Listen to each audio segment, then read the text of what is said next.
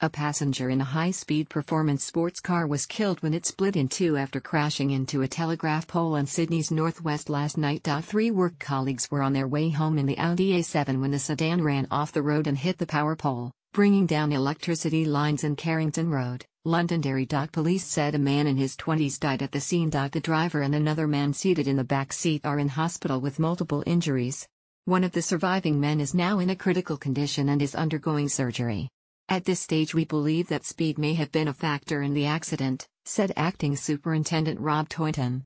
The damage done to the car indicates that it may well have been traveling at high speed he said. Police are waiting to interview the men to see if they can help them find what caused the accident. Ambulance paramedics were called to the scene at 8:50 p.m. last night where they found the car a total wreck and surrounded by live electricity wires. Police said the three men were from Western Sydney but they had not yet determined where they had been or were traveling to. Officers from the crash